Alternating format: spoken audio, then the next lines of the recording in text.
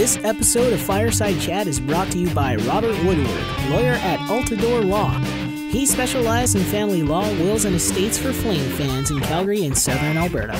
Call Robert at 403 771 2187 and mention Fireside Chat to get $100 off any legal service.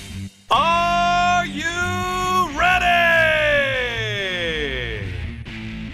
Sea of Red, it's time for another Fireside Chat, the official podcast of Flames fans. It's go time. The Flames are back on the ice, and as always, I'm Dan Stevenson alongside my co host Matt DeBorg, and we're back to talk about what we'll call the second half of the Calgary Flames season. Uh, Matt, we talked last week during the bye week, which was episode 199, and this is a big one for us. This is episode 200. Yeah, it's nice that we hit that milestone. And uh, back when we started, it was Iginla was still on the team and all of that, and I had a feeling that it'd take until about episode 200 for the Flames to get good again, and sure enough, they're doing awesome, and hopefully that can continue for the next hundred episodes. Well, let's so. let's round down a bit. They started doing well about episode 185, 180, somewhere in there. So the Flames are back on the ice. They're back from the bye week, and they played two games this week, both on the road. Um, let's jump right to those. The first game was on February 1st. The Calgary Flames went into Washington to take on the Capitals without Alex Ovechkin, and still ended up losing in a 4-3 game against the Capitals. I've got to say, from my vantage point, I think the Flames were lucky that it was 4-3. This did this team looked like I expected them to, and I predicted last week. It looked like a team coming off a bye week, didn't it, Matt?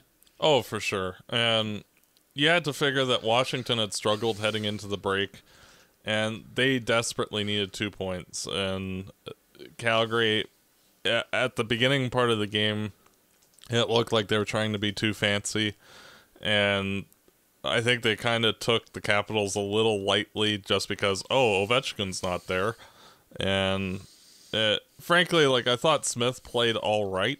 I didn't have much of a problem with any of the goals that he gave up. So you know, all in all, it was a game, and they lost. Like you know, it's one of the elite teams in the NHL, the defending Stanley Cup champions.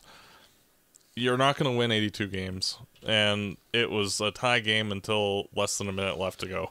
And if we're gonna lose, I guess if we're gonna lose a team to a team that's an elite team, I'd rather we lose to an elite Eastern Conference team. Oh, for sure, and keeps us ahead of like the Sharks and the Jets and all that kind of stuff.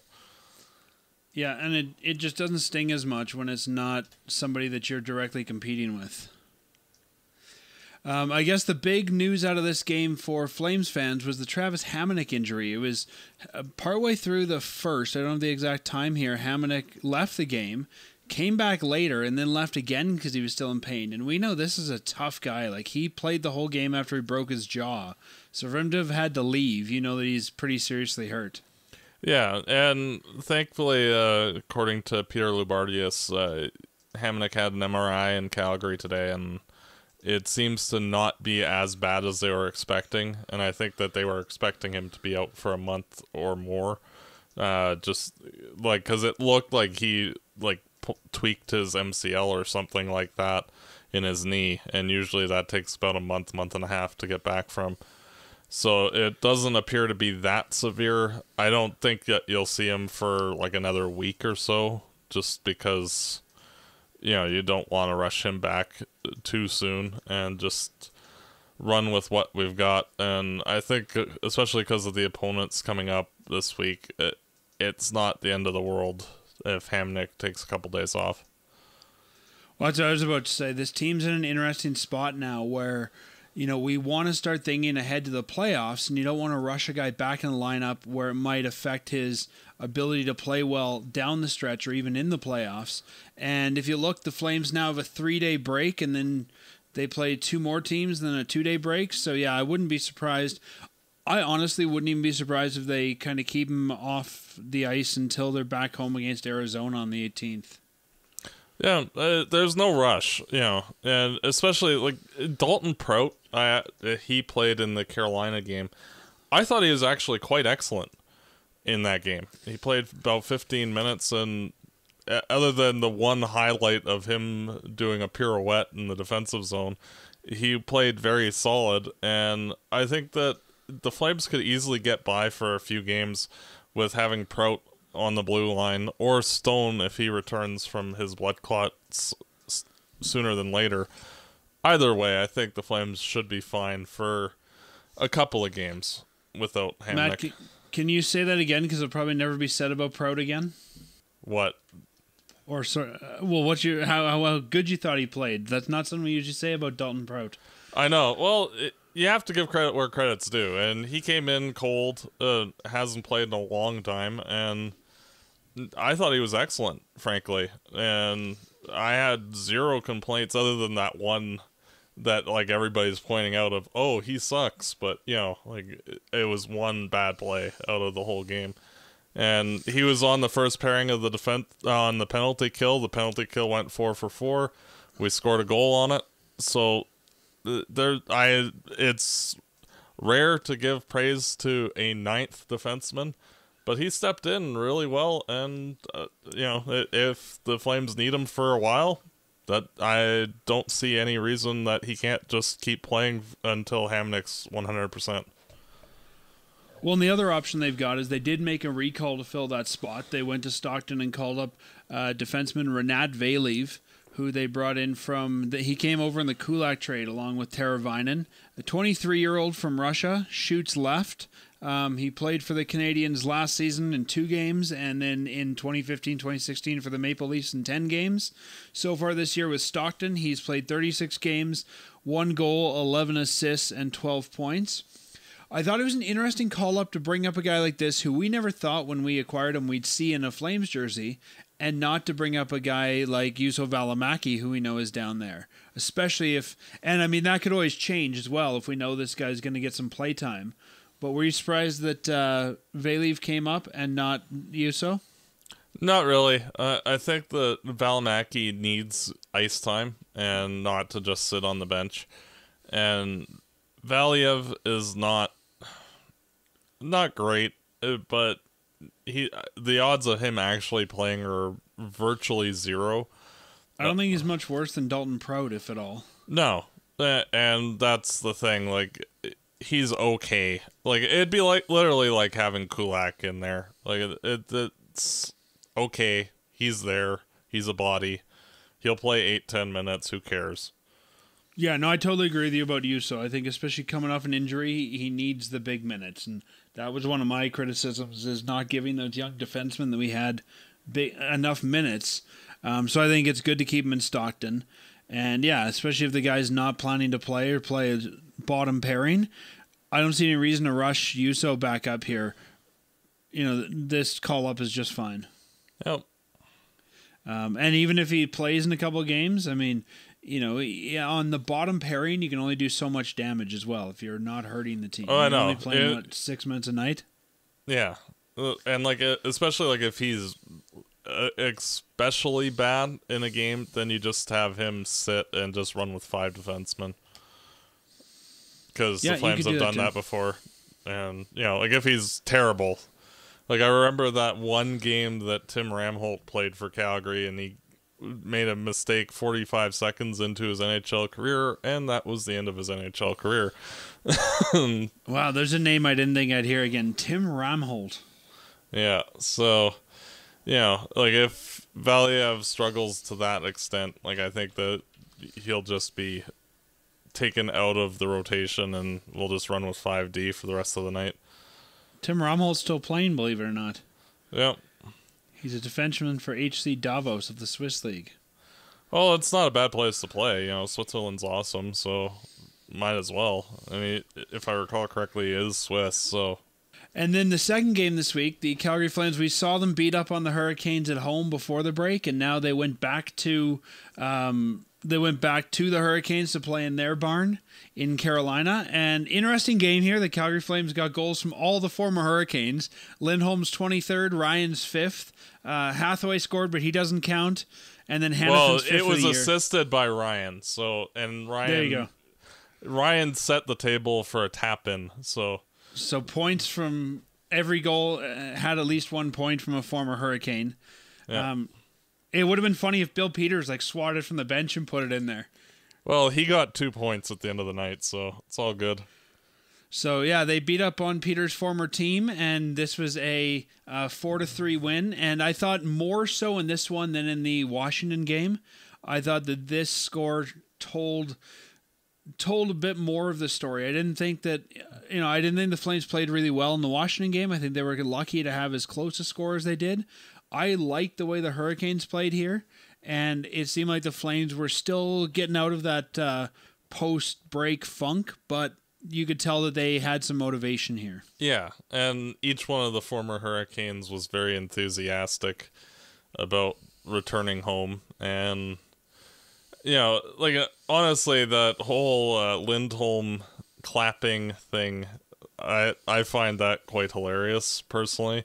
Um, uh, For those that didn't watch the game, explain it to everyone. Oh, at the end of the game, uh, like Lindholm was always a player that gave his all for Carolina when he was there, and he didn't prefer to be traded, and so he was expecting that he'd get a cheer or something from the Hurricanes fans, but instead he was relentlessly booed all night, along with all the other Hurricanes players. So once the game ended he uh, mocked the Hurricanes using their victory celebration because all the players go to center ice and do this over the head clapping thing, uh, which is like a hurricane warning or something, storm warning for hand signals.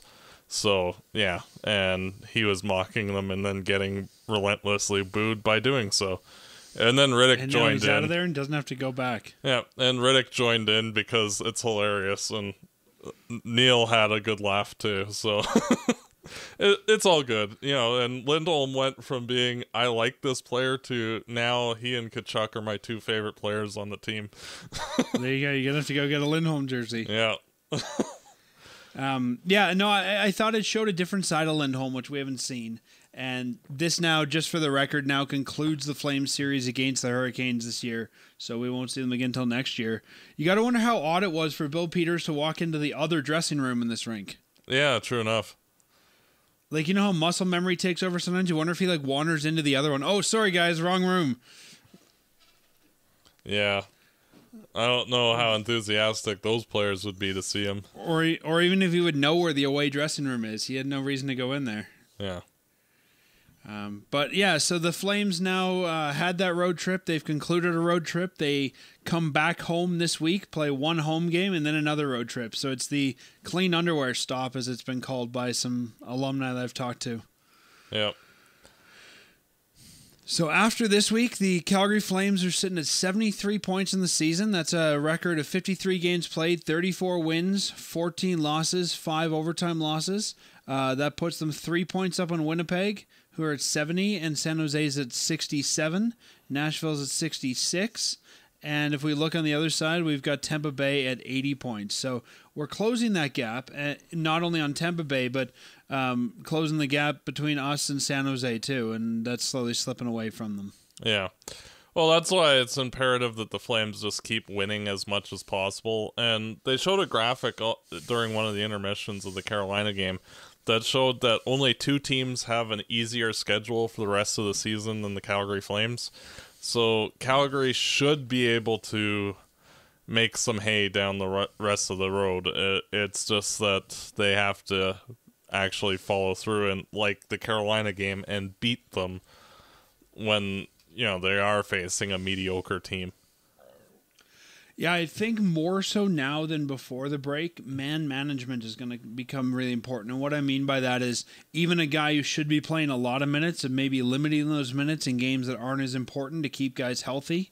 Um, you know, I can see a game like the Florida game coming up of limiting some of you know maybe our star players and giving some not so star players more minutes and maybe sitting guys out more often than they usually would just to keep everyone healthy.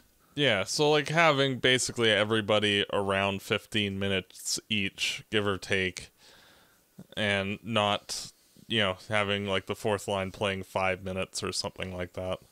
Yeah, or even, I mean, I could see if the team gets up, say, four or five goals, of even, you know, starting to limit the first line's continued play after that. Yeah. Or as we were mentioning earlier, even Hamonic, like you said, not rushing him back in the lineup just because he's Travis Hamonic, but saying, "Hey, why don't you sit out a couple extra games just to limit, you know, your exposure?" Yeah, and like that's why I think that Smith or a new backup will play it a little more than what I think some people would expect, and just to keep Rittich fresh for the playoffs because I don't think he's played more than 50 games in a season before, and he's on pace to do that this year. So it's one of those things that like the more that we keep players fresh, the more likely that things will go good as we get to the playoffs. One thing I do expect is that the Flames will get a backup goaltender just due to the fact that in the playoffs you need to have a legitimate second option uh, instead of your starter in case the starter has a bad game or two because uh, you don't want to lose a series just because the one guy's gone cold for a bit. And like we saw with uh, previous Cup champions the last few years, that they would pretty much bounce back and forth between their goalies. Yeah. Well, let's talk about that. I mean, we've talked in the past about trades and the trade deadline approaching and what might come, um, you know, for the Flames or what the Flames might give up. And Matt, there's been some. I mean, you and I've speculated. You've had some speculation, especially but some of the experts in the field now are starting to speculate on what they're hearing or think might happen. So let's talk about some of these. Uh, Elliotte Friedman on his 31 Thoughts podcast said that the Flames may be working with the Rangers to try and land Mats Zuccarello. And for those that don't know, uh, Zuccarello is a left shot right winger, uh, 31 years old. This season he's played 37 games, has 9 goals, 19 assists, and 28 points. What are your thoughts on the Flames potentially bringing in Zuccarello? Well, the play good, probably the best player in Norway's history. Uh, he's all right. Honestly, like him, he's basically like a similar profile of player as Nyquist. Uh, just because I know that like our listeners have heard me speak on him so much, it's just that he's like the poor man's version of Nyquist, and if it's cheaper to get Zuccarello and you don't have any intention of bringing him back, sure. Like if it only costs you like a third or something equivalent therein, awesome. But I think that if you're gonna like spend the first round pick, I think that you're gonna want a player that's better than Zuccarello. Zuccarello's making four and a half million, so think Frolik money for those that just want comparisons, and he would be a rental. So thirty-one, he would be a rental. I really believe you could get him for pretty cheap. Yeah, um, he's also a good two-way forward, and he does have some good offensive skills, and like he'd fit in with the Tkachuk line not without a problem. Uh, yeah, it, and, well, and even I could even see him as a third line type guy. Like I don't think that's a guy you have to necessarily slot into the top six. No, true enough. And he can play at both ends of the ice, so it really doesn't matter if he's on the second, third, or fourth line. He'll perform well regardless. So, as a if we're gonna go out and get a rental of the names that we've talked about over the last little bit, I quite like Zuccarello as a guy who could fill that role. Yeah, I if it's me, and I think the asking I'd price be would be right. Yeah, like that would be like one of the better bargain basement bin type guys like for the type generic type of depth forward. Uh, if you're gonna go all out, a couple of his Rangers teammates, Kevin Hayes and uh, Chris Kreider, would be more of what I'd be looking at. I've always liked Kreider. I think he's a bit of a jerk in the same way that Tkachuk is, and I think that would be a good fit. Um, I think Kreider's going to be expensive, and there's going to be a lot of teams that want that kind of grit. Yeah, and that like if you're gonna go and spend, getting a guy like Kreider would make some sense. If I was gonna spend, I'd rather spend on Wayne Simmonds. Yeah, uh, yeah. Uh, I I I view them I as kind Simmonds of a, a more complete player. He can be a jerk. He can be the scorer. He kind of brings a little bit of everything, and I think yeah. he could fit whatever role we need him to for the limited time he'd be here better than Kreider could. Again, it it would depend on the acquisition cost. If all things are equal, it's a coin toss for me. But if one's clearly cheaper, then go with the cheaper version. Another name that Elliotte Friedman put out here, and this is one that I'm questioning. Uh, current Chicago Blackhawk Chris Kunitz, 39 years old from Regina. He plays left wing.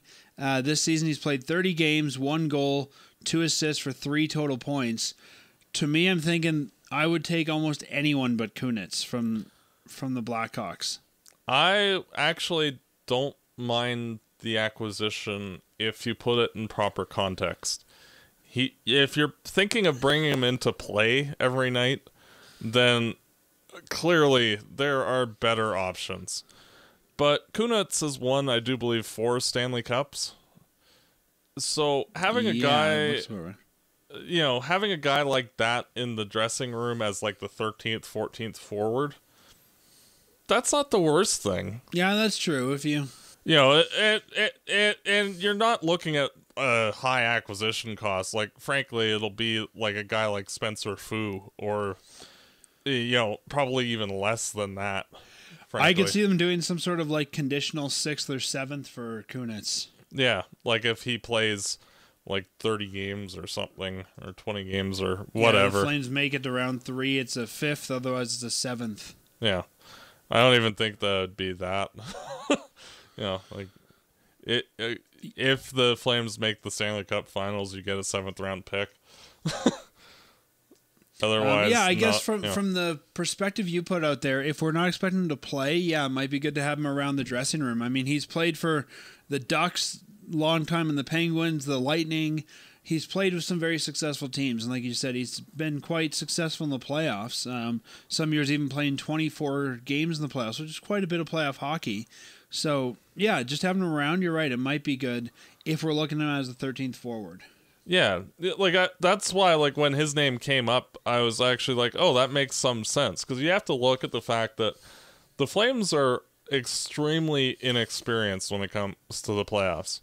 Like frankly, like it's James Neal that's the only guy that has any real like long playoff runs as far as I know on the Flames team. So, you know, like, frankly, like the Flames don't really know how to win in the playoffs.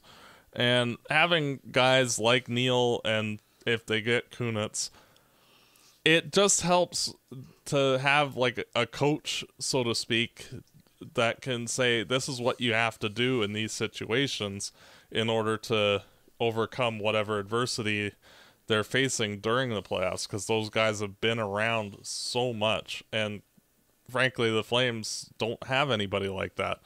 So i i think it is necessary to get uh, and especially like with the depth guys like i'm expecting the flames likely to add two depth forwards and one decent forward and maybe a def- depth defenseman and a backup goaltender.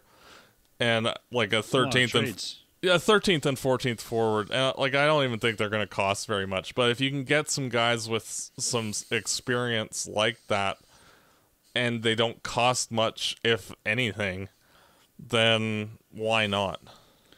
Yeah, if we if we could get Kunitz for a sixth or seventh, I'd say let's do it.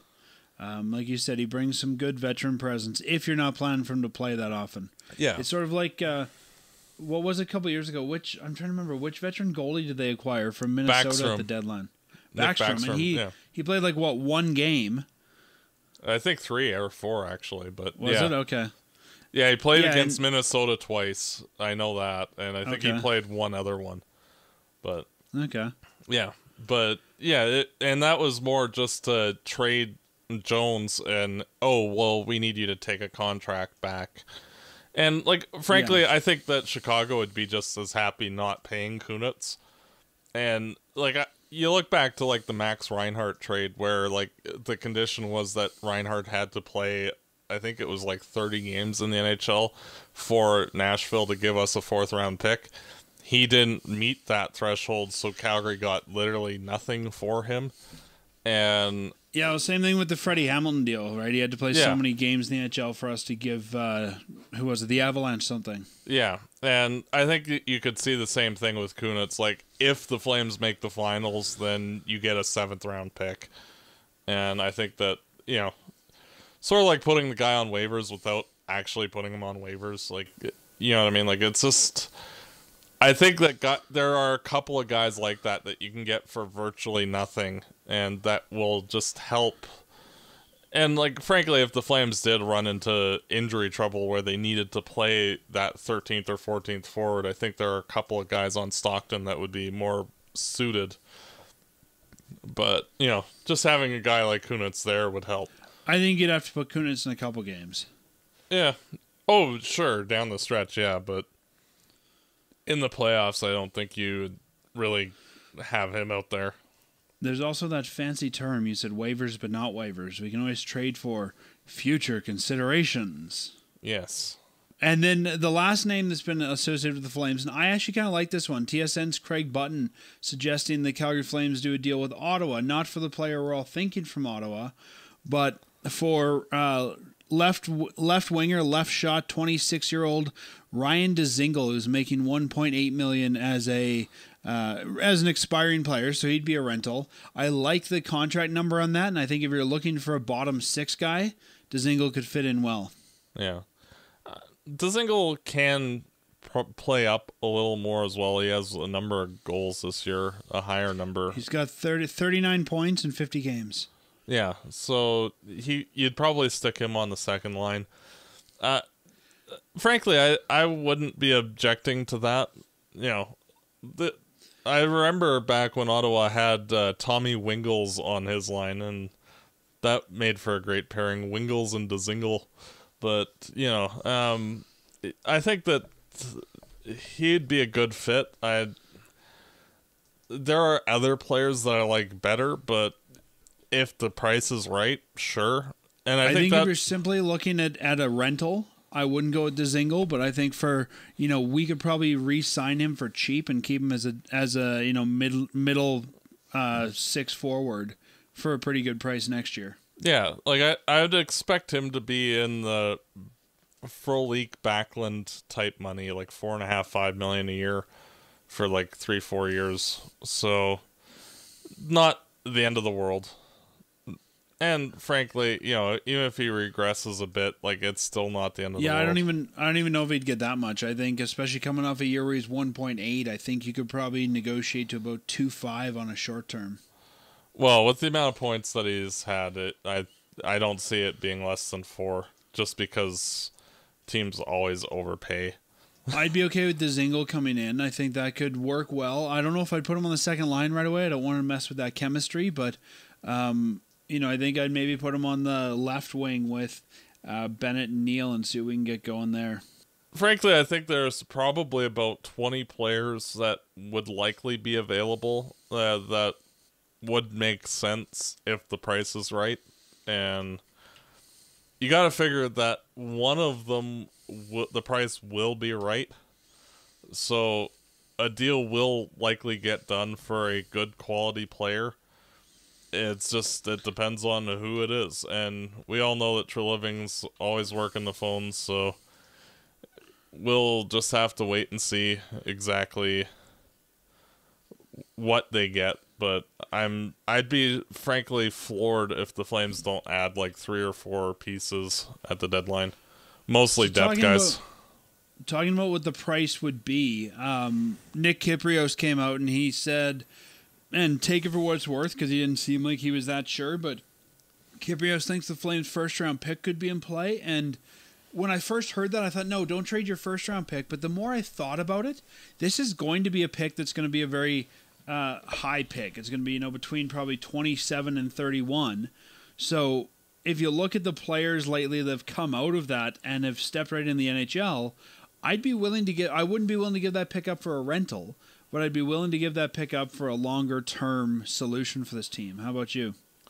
Well, that's the exact thing. Like if this pick was like in 15 to 18, there's absolutely no way that I'd be advocating to trade it. But you have to look at like past drafts, like guys like Morgan Klimchuk, Emile Poirier. Like there's a lot of just guys who like if they hit their potential, they're going to be a third line forward or a bottom pairing defenseman. There's the odd one that actually works out to being a top tier player, um, like uh, the Ducks got with Rickard Rakell. but more likely it's going to be a mediocre player. That being said, if you can get a say a second line forward that you can keep for 3 or 4 years, then I don't see a problem with that. It you know, like that's basically what the upside of the pick is. And okay, yeah, you have to pay the guy right away instead of developing him, but you know, at the end of the day, we're also in a win now situation. And if you can get a guy that you can keep for a long time that's not going to cost you several arms and legs, then I don't see a problem with that. And frankly, like the Flames don't need a star player in trade. No, they've got their stars. Yeah, like they just need a good middle six forward. And And if and if you look back at previous deadlines, I was doing that today on my lunch break. Um, there are a lot of teams they'll give up a first plus for a rental, and that I'm not okay with. But like you said, if it's a guy that can be here like a Dzingel or even a Zuccarello, if we could afford him, a guy that might be here for two three years, yeah, let's make that deal. yeah, and like if you look say like any of the Even a Gustav Nyquist who you've talked about in the past, I'd be willing to move that pick probably plus something to bring back a piece that could be here for two three years. Yeah, and then you look at the team, and now you have two first lines basically with Tkachuk, Backlund, and the new guy. The Monahan line, of course, and then your third line is Jankowski, Bennett, and Neal. Like that's a, and you can keep all of those guys for the next three years. Well, And I think Neal will get going before the playoffs, and I think that could almost be like a trade deadline acquisition in and of itself. Oh, I agree. I'm fully expecting him to have a good playoffs. It's just, and especially with his last two years, like the Flames are playing well, so like it's not imperative that he's flying right now. And I think that like once the games really start to matter as we get into March, that you'll see his play steadily increase and he'll be more Neal like. But you know the the team like if the the Flames can pull that off and keep the guy that they acquire, then like you can pretty much pencil the Flames in for first place next year. And because they'll just have more depth than literally every other team.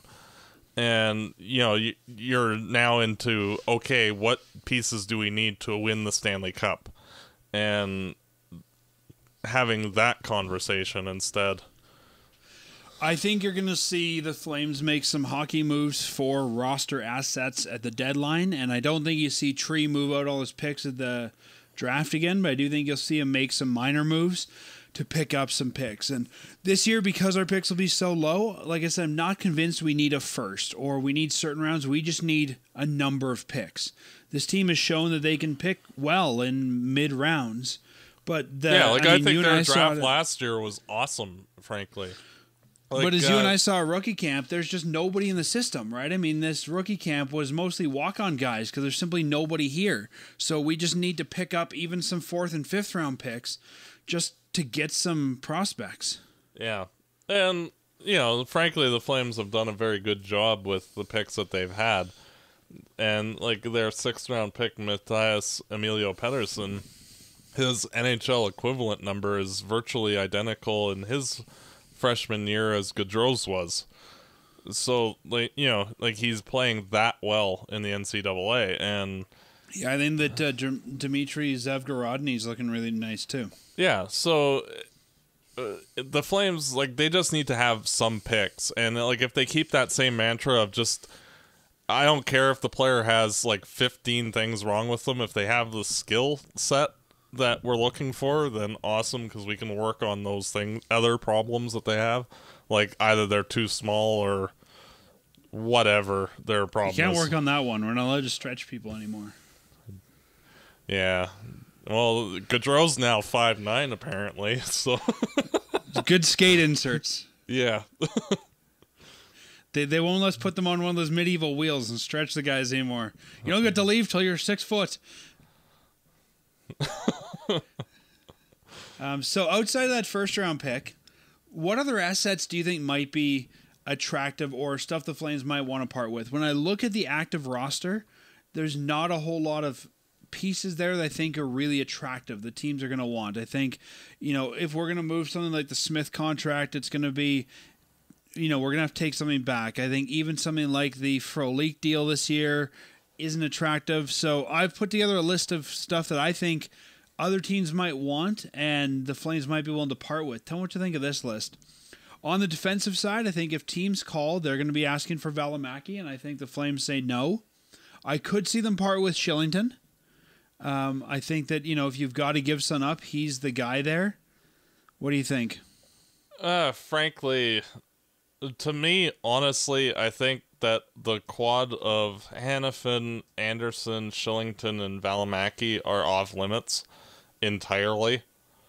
And uh, I'd be hard pressed to include any one of those guys in trade just because they're so young and they're playing so well at the NHL level that you don't really know what especially like with the expansion draft that we're going to be talking about later the you don't know which one of those guys is going to emerge as being a top tier defenseman. And like all four of them are kind of heading in that general direction, but you know, there's going to be 2 years between now and the expansion draft. So I'm extremely reticent to trade any of those just because of the fact that you just don't know who of those guys will be a top tier player or if any. Yeah, no, I'm not saying they want to trade one, but I think if you have to move a young defenseman of those, I think Kylington's the guy they move out. I agree. I just I, I'd try to find some other way of structuring the trade. You don't have a nobody wants Matt Teravainen. Like if you got to move out a, a defenseman, you got few options. True. I just Um, don't think. on- I, I just frankly don't think a defenseman will be included in any of the trades. So, like, unless it's Stone just to get rid of his contract, but I. But even then, I mean, that's not going to be a lucrative contract. My question would be, what do we have to give up to get someone to take it? true. You know, like uh, it's it's like the Frolik deal. Probably more than want to pay him right now for where he's playing the lineup, but I don't know that I want to pay somebody to take that contract yet. Yeah. I Well, think we will, and I think both those contracts, if we can wait a year, Yeah. will be easier to move. Yeah, well, I think we even referenced it earlier with the Jones for Backstrom deal, where I think that like if the Flames say to a team, "Hey, we'll take your overpaid expiring player. Here's a guy that you might be able to use for your rebuild. You know, have fun." If I remember though, Jones was expiring as well, so Yeah, pretty know. much you know rental for rental. I think you'd be hard pressed to say to somebody, "Hey, take on four point five million in." You know Hathaway and or in sorry Frolik, and we'll just take you know an expiring contract. I think a lot of GMs would say we'll keep the expiring contract and we'll take our chances in the summer and see if we can sign. True.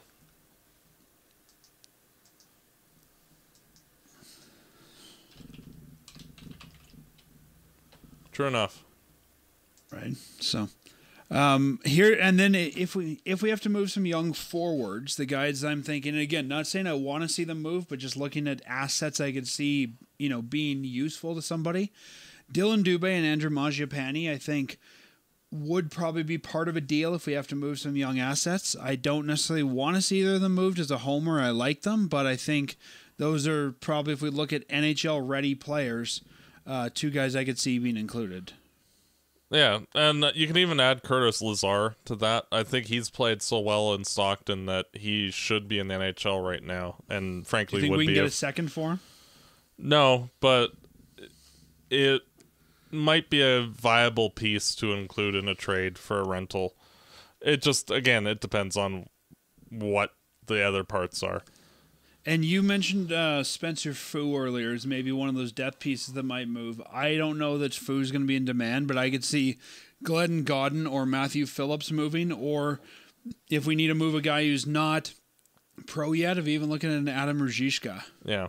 Frankly, I would not move Phillips at all just because of the fact that he's showing upper level skill and like if he can play in the NHL, I think the Flames might have a high quality top 6 forward in him. And that level of potential I'd be very reticent to trade just because of the fact that you know, guys like that are so difficult to have and find. And if he can, adapt to the professional leagues, then you know that's basically found money because he was a sixth round pick. Everybody else though, like if like if Dylan Dubé was what it took to get say like Nyquist, sure, you know, like you wouldn't be jumping up and down about it, but you know, you'd be fine with it and it'd be f- frustrating to lose either Dubé or Eat Bread, but you'd be fine with that as being like the key piece to the deal. And like Phillips, I don't think has high enough profile where he would garner much more than I like don't a think fifth round. key piece, but I could see him being the and something. Yeah, and I'd rather find a different and, frankly. The one on this list that's kind of interesting to me is Glenn Gawdin. I mean, he had a good year last year in junior. He's come into the AHL. He's looking okay, but I can see this being one of those guys, and they come around every couple years where teams want to take them on as a project. It's like, oh, Calgary doesn't know how to develop them. We'll take them on. And the name that always comes to mind when I think of that is Pavel Brendl. He got signed and he got flipped from organization to organization because everybody thought they could do something with him. I could see Gawdin getting included in something instead of a draft pick. Instead of us giving up, say, a fifth, we're like, yeah, we'll give you Glenn Gawdin. Yeah, I agree. And Gawdin's a very smart player. Uh, he's not the most talented of players, but his just raw intelligence on the ice is what's made him a decent prospect. And you know, like if it was say Kun- Kunitz for Gawdin, I don't think anybody'd really complain that much about that. Uh, so Matt, you've talked about in the past guys like um, you know Gustav Nyquist, and we talked today about Dzingel and Zuccarello and Kunitz, and you know all these guys are great. And as a rental, it's easy to bring any guy in. But I think the thing we have to remember is two seasons from now there is an expansion draft, and if we look at bringing a guy in long term, especially a younger guy like a um, you know a Dzingel or um, Gustav Nyquist, you could end up paying the price for that guy, signing him, and losing him for nothing. Are you worried if we go out and acquire something long term that it could affect, you know, what the Flames do at that expansion draft when uh, Seattle comes in? Well, frankly, uh, I don't see that being too too much of a big deal. Like if you look at the team as it sits right now, like you're supposed to protect seven forwards, three defensemen, and a goalie, or four forwards, four defensemen, and a goalie. And Or 10 total. yeah.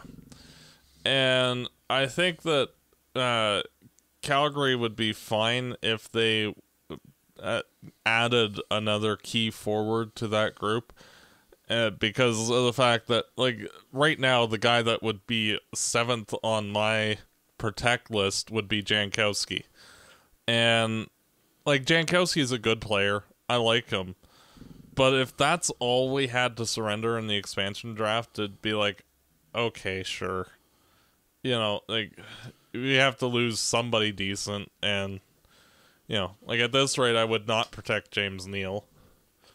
And you know, the new guy, if he is good enough where he pushes Janko out, then you know, it is what it is. And I think on the defensive side that you're going to just protect the three best young defensemen that you have and maybe flip a pick or something with that team to take one of the forwards if the fourth guy is really good. Yeah, I think this is a draft where I mean we got off pretty easy last um, last expansion draft with you know just losing Engelland, but I I honestly and, even then we didn't technically lose him. He was free agent who signed there, I think. But um, I can see the next draft being one where the Flames are going to make a move to. I could even see them making a move to move something like the Frolik or the Stone contract if the guys are still around then. Um, you know, I, I don't think Calgary's going to get away scot free, but I think that we can make a deal to lessen our impact. Yeah. And like if like say all four of the young defensemen that we were talking about end up developing into like the equivalents of guys like TJ Brodie and good Giordano and that. Well, you're not going to let one of them walk. So you're going to trade whatever top prospect you have at the time and a pick or something uh, to Seattle for them taking the forward guy that like you don't want to lose but you're fine with. And I think that you know, like it would suck, but I think that's the route that if the defensemen all develop, then that's the route it'll go. And if only one of them flames out a bit, then you don't really have to worry about that at all. I'm pretty confident in Tree as far as his hockey knowledge that he's not going to leave Calgary high and dry with that expansion draft. I think you know we got to be careful who we bring in and how long we sign him for. But you know, e- even if I could see the worst case scenario for the Flames being losing Bennett, and even that I'd be okay with. Yeah, exactly. Like it, uh, you, the Flames are frankly in a spot where like we don't have a lot of high end guys coming up behind the guys that we already have, which in a way like we have a limited number of really good players and like the rest of the guys are decent bottom end guys uh, which that's useful but it's not like if you lose one of them it, you know is that guy not replaceable and i think you can say to a man like from Frolik down in the roster amongst the forwards, if they were gone, would you really care? And uh, most of them, not really. Like if it came to that, you'd be fine with any of them going. Well, and by that point, you get into a territory where these guys are replaceable. I mean, if we lose one, you can go shopping July 1st and replace that asset if you want to. Exactly. Like if we lose a center, like you know, the Flames will still be an elite team, and you'll have literally every free agent knocking on your door. Like I'd rather play for a contender than whatever that iteration of the Edmonton Oilers is, and you know, so we'll see. Like I'm not, I'm not really even concerned about the expansion draft, frankly. I'm not too concerned. I think it's something that has to be in the back of you know the team's mind as they are making moves and signing deals, especially things like no trade clauses, because we saw some teams get bit by those. I mean, this isn't Darryl Sutter where half Yeah. our roster has a no trade. Can you imagine if that Flames team went into a an expansion draft? They would have been in trouble. Yeah. Oh yeah, for sure. Um, you know, like I can see Tkachuk maybe getting one. This team has to manage those carefully, but yeah. Oh, yeah. I, Well, don't think you know, the elite much trouble. player- You just have to be careful Yeah. who, how many long term assets you acquire. Yeah. And frankly, like the Flames, like they're the key players that they have, like they're either under contract or they're going to continue to be under contract for a long time. So like I don't really see any real dire need like you know, it's not like some teams where they had like say like Minnesota where they had four really good young defensemen and they had to trade Alex Tuch and a pick, I do believe, to for uh, Vegas taking Haula, and you know, like I don't think that the Flames are in a position right now where they're gonna have to give up two high quality parts of their team just to not take a defenseman or whatever. So we'll see. Like I'm not uh, like even though the Flames are one of the elite teams, like there's still a clear divide between the extremely important players and the very good depth parts. And the depth parts are depth at the end of the day. And you know, they're very important for the Flames being successful, but it's not something that you go out of your way to like surrender prospects or picks for in most of their cases. I still have this weird feeling that Don Maloney might end up being the GM there, and with um, with Tree here, and with um, oh, who else did they bring in from that organization? They brought in a couple guys in the office who used to be there. Like I think if if anyone could negotiate with him, it would probably be Tree to to lessen the blow. yeah. You know, the student has become the master, and, and I think those two could work something out. Yeah.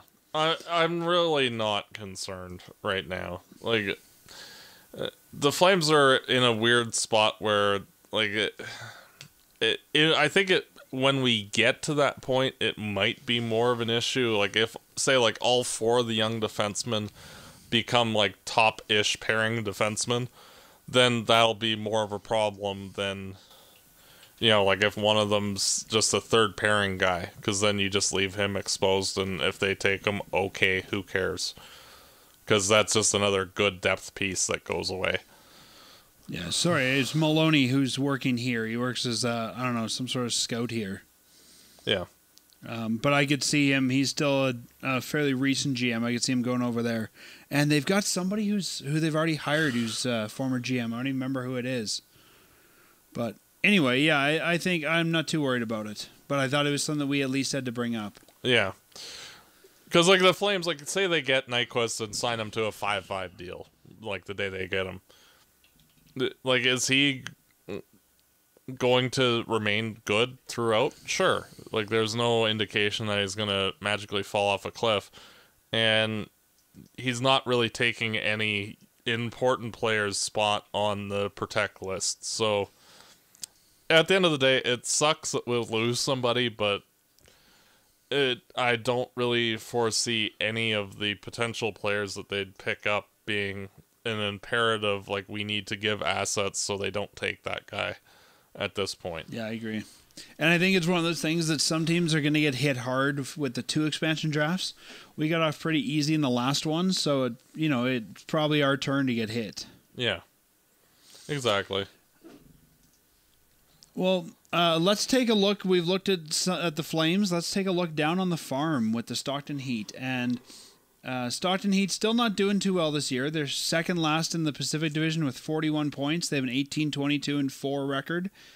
The bright spot this year was Juuso Valimaki since going down at the bye week as three points in four games. And Matt, I was watching a lot of this team over the bye week because I needed my Flames hockey and I could sort of convince myself they're the Flames. They were the same colors.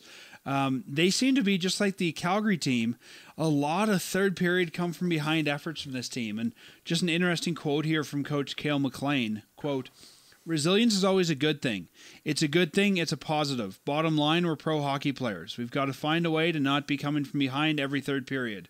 We like the fact this team can score and be relentless in terms of how we fight back in games, but we've got to do a better job overall and make sure we come out on the winning side. End quote. Sounds like the Calgary team, doesn't it? It's like, yeah, we'll just wait until the third period and come out and get the job done. Yeah, it's like, oh, you've scored three goals on us. Okay, who cares? and then we score six. you know, like yeah. Uh, frankly, like Stockton, just they they are suffering from just a lack of talent throughout. And I think the biggest thing from watching them is just a lack of talent on that blue line. Yeah, and like as we've seen in past years, like if you have defense that are struggling, you're kind of screwed. And it doesn't matter how good your goaltending or forwards are. So you know, look at Edmonton for example. Like the, their defense is horrible, and so are they. So. Um, but some interesting stats here. Stockton has erased third period deficits in four straight games, including each contest against San Jose this past weekend. The Heat are one and three in those games. Defenseman Rinat Valiev, who we brought up, earned his second call up to Calgary this season. I don't remember his first one. I think, if I remember, he was up here when we signed him because he had visa issues or something. No, uh, he came up. Uh, I do believe when Hamonic was hurt with uh, his jaw, if I recall correctly, and okay. yeah, and but he didn't play or anything. He was just like here for like a week and then went away again. And we talked about how Calgary has an easy schedule down the stretch. Stockton has uh, a divisional run of games with 14 games in a streak of 16 against Pacific opponents. So if you're trying to gain ground, that's the place to do it. But this team doesn't look like they're going to gain any ground. So I guess a good way to give up some points to other teams. And lastly, Curtis Lazar, we talked about earlier, has found his way onto the score sheet in four straight games with two goals and two assists, two on either side of the Lexus AHL All Star Classic, where he looked pretty good as well. So there's some bright spots down there. It's not a great year for this team, and I think you're going to see a lot of defensemen um, coming into the draft for the Flames this year. Yeah. Or as college free agents. Well, that's the thing. Like, uh, if the Flames do have their first round pick, I'm expecting a defenseman, and if not, like their third round pick, I'm expecting for sure a defenseman, like whomever is the best of the fallers, sort of like Adam Fox, and you know, see what's available. and go that route. Uh, I'm expecting probably three or four defensemen from this draft just because of the fact that we need some blue liners. And if we look at the guys who are in the system, and we'll do that next, uh, most of them are forwards too. We don't have a lot of defensemen in the system. Yeah, and you know, like if you look at like the players the Flames drafted last year, like all of them are high skill forwards. So you know, if they any of them translate, like those are all found money type guys, and you know, if any of them even make the NHL, frankly, it's found money. So you know, if the Flames can work the same magic but on the blue line, that'd be just awesome. Well, let's talk about some of those guys. They're having some prospects who are having really good seasons in their respective junior leagues. Uh, right here in the dub in Vancouver, they've got Milos Roman, a centerman. He's got 20 goals, 19 assists for 39 total points in 43 games. I don't know if you've seen Roman play at all, but he's looking really good this year. Yeah, if there, if any like junior player is around a point per game in their draft plus one year, that's fairly good. Like you, know, it, if the, he only had like 30 points in 43 games, then that'd be a little concerning. But him being right around the point per game, that's perfectly fine. You'll be even more impressed then with Adam Ruzicka in the OHL. Now plays for Sudbury. He got traded from Sarnia. 50 points in 46 games so far this year. Yeah, and with his size, he should be putting up those kind of numbers. Hopefully, his consistency gets better both in terms of game to game and from shift to shift. I think that his lack of consistency, like when he's on, like he can be a dynamite scorer. It's just that that shows up for maybe like three shifts a game. And that's the problem with him and part of the reason why I fell to the fourth round because talent wise, like when he's on, he would have been a first round pick. It's just, yeah, it too up and down, and hopefully he can get the consistency. That needs to be the, the key for him. And in the QMJHL, the Flames now, after a trade, have two players playing for Rimouski. Uh, D'Artagnan Joly got traded from Baie-Comeau. Joly now has got 16 goals, 20 assists for 36 points in 47 games this year. And Dmitry Zavgorodny, we talked about earlier, a left winger, 23 goals, 30 assists for 53 points in 51 games. So again, a guy getting almost point per game. Yeah. And Zavgorodny is doing very well. He's looking more like the player that at the Hlinka tournament that put him on the radar instead of like the following season where he was kind of terrible. So hopefully that continues. Uh, of the junior prospects, I think that Zavgorodny is the most likely to become an NHL player, but I'm it's still a long shot, I think. Yeah, I agree. Uh, just running through a couple more here. In the USHL, Martin Pospisil, who plays for Sioux City, 12 goals, 30 assists for 42 total points in 32 games. Getting that kind that, of number in the USHL is really good. Yeah, uh, that's dynamite, and that translates very well. Uh, hopefully, he can when he moves to the NCAA that that continues and he has a very good freshman year. Uh, there's nothing to complain about with those numbers. Like he, he's doing what he needs to do, and hopefully he continues to take additional steps forward in his development. In the NCAA, we have Demetrios Koumontzis, a left winger for Arizona State, who has two goals, 12 assists for 14 points in 30 games. Mathias Emilio Pettersen, a centerman for Denver, has six goals, 16 assists for 22 points in 25 games. And then the disappointment in the group, Mitch Mattson, a centerman for Michigan State, no points in 14 games. I'm really thinking this is the end for Mattson. Yeah, Mattson, I think he'll be just kept on as long as he's an NCAA player, and then not. Yeah, I didn't retain his rights, but when it comes to signing him, he's not going to get signed. No. Um, with both Koumontzis and Pettersen, again, full marks for where they're at right now. You have to remember that in the NCAA, freshmen don't play as much generally. It, so the fact that they're even putting up near half point per game, like Koumontzis, or greater than that, like Pettersen is actually quite excellent. And like moving into next year, you'll probably see them be closer to a point per game, if not eclipsing that, as they're utilized more. Oh yeah, probably for sure. Um, you're right. In college, the more senior you are, the more ice time you get. Yeah, it just like remember when the Flames drafted Jankowski and like he didn't really get a ton of points and like everybody freaked out that oh he sucks and then yeah And then the Flames have three players playing in Europe, all in men's leagues, so we have to take that into account. Linus Lindstrom uh, is playing was playing in the SHL, got sent down to their essentially their farm league. Uh, with that league, he's got two assists and for two total points in three games. Uh, Eetu Tuulola, uh, right winger in the he's playing in the Finnish league, has 28 points in 47 games, and Filip Sveningsson also in Sweden, but in the secondary league, 21 points in 33 games. So, you know, especially for young guys, it's a hard league to play in. But I think those are, and I've watched a little bit of uh, Lindstrom and Sveningsson. They're looking okay. I mean, they're for where they were drafted, they're looking about what I'm expecting. yeah and like frankly if any of them even make the NHL that would be a pleasant surprise. Uh, Yeah, I, I think they'll. I think they'll all get signed, but I think they're probably AHL fodder. Yeah, it's more like uh, when the Flames signed Adam Ollas Mattsson. It's like you know we need a body, and you have some talent, so come play, and that's about it. I don't. I with all three of them, I'm just not seeing enough higher end skill or consistency in Tuulola's case for him to be a, an actual NHL player. And the last three names here, guys that are playing professionally, and these are the guys in the ECHL playing for Kansas City. Uh, two goaltenders and a right winger. We have Mason McDonald, who has a 12 3 1 record, 2.47 GAA, and a 911 save percentage. Those are pretty respectable numbers for an ECHL goalie.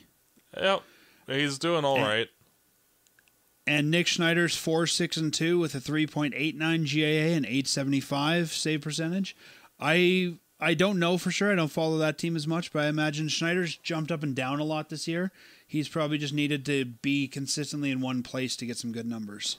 Yeah, and I think with all four of the goalies that they're doing all right, and I don't know like if you keep all of them moving forward, but you know they're progressing in that general positive direction. McDonald, I don't know if he has any NHL potential, but goalies are always weird. Like I don't think a single person expected Rittich to be what he is. So, you know, it's we'll see. Like there's no rush. It's not like the Flames have three or four guys coming in the system.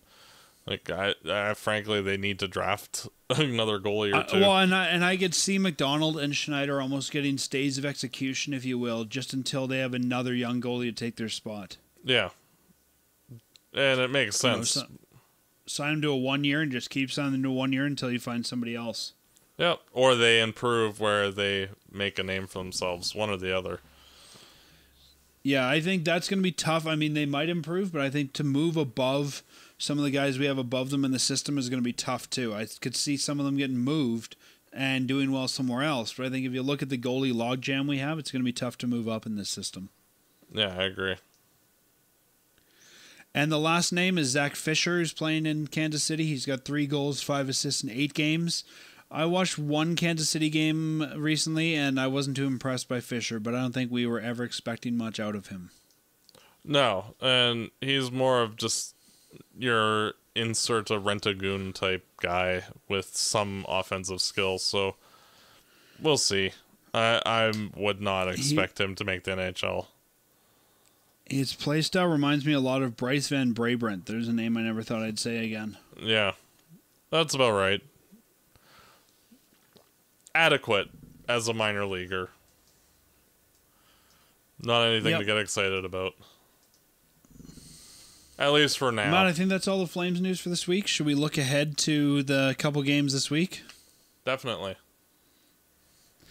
The Flames play two games. They've got three days off. They're off on uh, the 4th, 5th, and 6th. They're back on Saddledome Ice on the 7th on Thursday night to take on San Jose. These are two points they desperately need to keep themselves above San Jose. That's, as always, a 7 o'clock start time. They get Friday off, and then they're making a quick road trip up to Vancouver on Saturday for Hockey Night in Canada, an 8 p.m. start time take on the Canucks. And those are the only two games this week. It's weird to only talk about two games in a week. Uh, then they're off until next Tuesday when they take on Tampa Bay, which we'll talk about next week. So, Matt, we got uh, two points. Last week, you and I didn't do too well in the predictions. I thought we would lose everything. You thought we'd win everything. We split. What do you think for this week? Well, I think they're going to play their first good post break game against the Sharks because they always tend to come out against the good teams. And I think they might lose to Vancouver just because they beat San Jose. So I'm going to go with a split with San Jose win, Vancouver loss. Yeah. Uh, Who do you think is in net for those games? Do you think they're both Rittich? Rittich, both, yeah. I'm Uh, going to say I think Calgary will win both games. Yeah. I I think they have to beat San Jose. I think that these guys know how to get up for a big game, and I think they'll do that. And I don't. Vancouver's not a very good team, and I think if they can isolate the one guy who's any good on that team this year, um, they'll do okay. Yeah. Well, Vancouver's been playing fairly well. Like they're in a playoff spot now, so you know, uh, they might take them I just have this weird feeling that team's gonna unravel soon. It- it wouldn't shock me if like they actually make the playoffs and then are cannon fodder in round one, and you know, uh, and then suck next year. Like it wouldn't surprise me. It's sort of like the 14-15 Flames, where they they kind of surprised everybody, and then oh, they're not actually that good. And yeah, when teams actually pay attention to how Vancouver is, basically.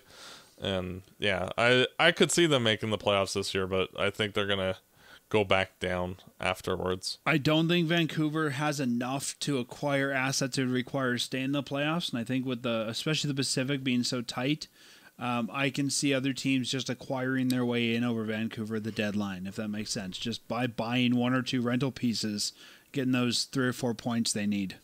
Yeah, that's very well could be. Like I just don't know what Vancouver's going to give up to get rentals, and I don't think they can go anywhere past the first round with what they've got. Yeah.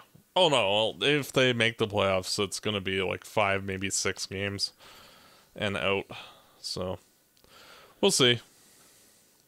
Well, there we go. We've got uh, one game at home, and then a four-game road trip, and then three more at home, and then three more on the road. So the team's getting their air miles this month.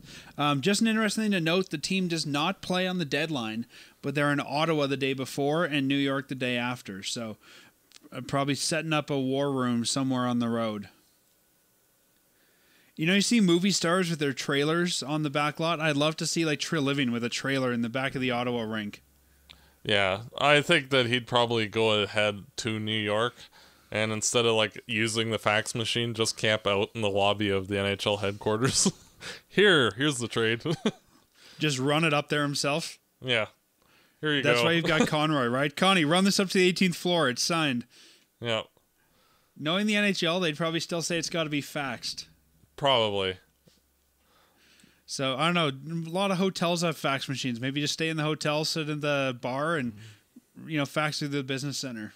Yeah, I don't know. Yeah, it could be, and yeah, but it's it's kind of weird. I could even see. I mean, with with that day off, I could see them. It's a 5 p.m. game the night before. I could see them even flying home, doing their business here, and flying back to New York. yeah. I could see that as well. I Um, think, it's frankly, I don't think that there will actually be any trades for Calgary on deadline day, other than like a 14th forward or something like that. I think they'll if get there all their is, work. I think it'll probably be a team coming from somewhere in the East. yeah, So, with the team being in the East, it might be good for that person to join us. Yeah. Well, the thing is, is uh, like the Eastern Conference playoff race is basically already set right now, because like only Buffalo really has a realistic chance of making it in above any of the teams that are already in. So you know the Flames can basically go like they already know who to shop with, basically. So we'll see.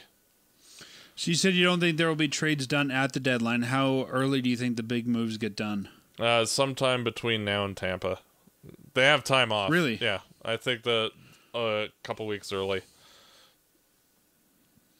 And often the GMs that do that end up getting a better deal because they're helping to set the prices then. Yeah, exactly. So that would be cool if they could, uh, yeah, if they get something done, and it also gives them time to get that guy integrated into the team a little bit earlier too. That's one thing I always worry about when you make a deadline move, is you don't have as much time to get that guy integrated. Yeah, like if they're gonna make a move for a goaltender, I think that comes in the next week, frankly, and uh, just because of the fact that, you know, you want to have that guy available to you to play more than like the five or six games that he's going to play in March. So Well, and there's some games like Florida, Arizona, Ottawa where I can see putting that goaltender in. exactly, so might as well get that one out of the way if you're gonna go that route. So we'll see. Lots of time, and but you know, it'll be interesting. Well, Matt, enjoy this week. It should be two fun games, and that San Jose game, they better win. Definitely. Have a great week, Matt, and we'll talk to you on the 11th when we uh, maybe there's a big trade by then. We'll find out. Yep. And as always, go Flames, go. Fireside Chat is hosted by Dan Stevenson, co hosted by Matt DeBorg. This episode produced and edited by Peter Marino.